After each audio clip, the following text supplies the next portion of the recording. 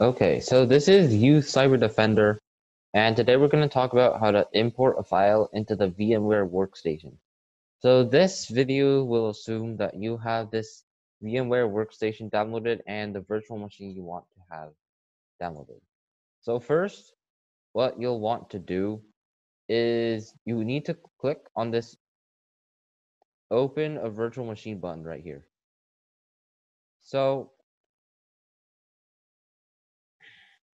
So after you do that, um, you'll just want to select the file.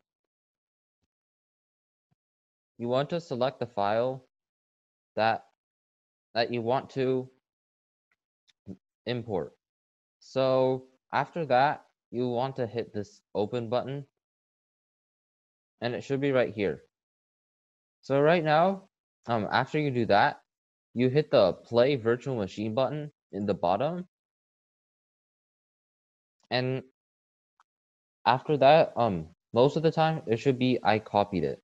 So if you copied it, just click this button. If not, then click the I moved it.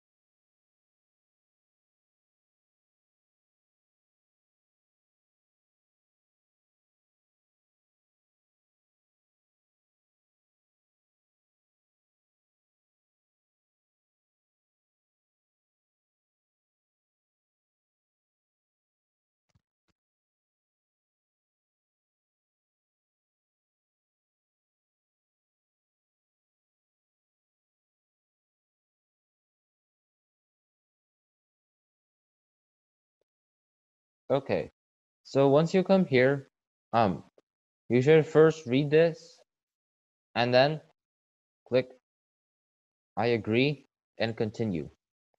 So then after that, you have to enter your um, unique identifier and that's where we'll stop.